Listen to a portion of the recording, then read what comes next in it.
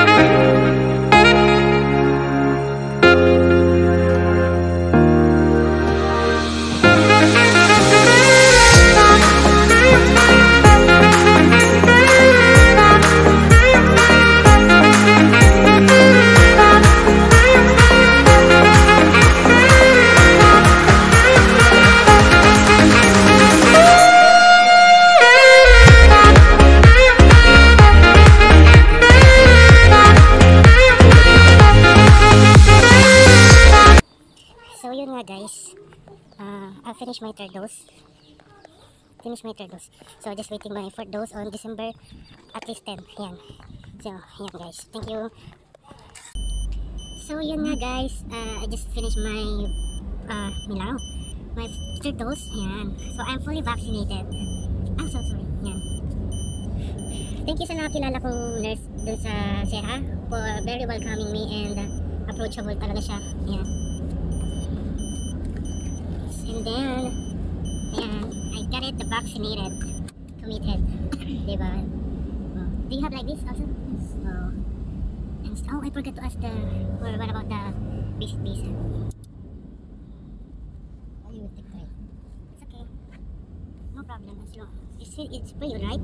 Yes, you. Hmm. Okay, anyways guys, thank you so much uh, para samahan ako sa pag-vaccine ko. I hope you enjoy my vlog. And just for being aware to everyone that uh, it, lahat tayo dapat magpa-vaccine para sa protection din natin sa, sa ating sarili. Uh, not just like for ourselves, but isipin din natin yung kaligtasan ng ating makakasalamuha dahil uh, pwedeng ma-transfer yung uh, sakit na pwedeng may transfer, di ba? So, dapat vaccinated ka na talaga. So, I would like to inform you guys na dapat magpa-vaccine na tayong lahat para sa ikabubuti din ng ating bansa or ng ating ah, sarili. Yan. So, guys, thank you for watching my vlog and I hope you enjoy my vlog. Thank you. Bye-bye and much love.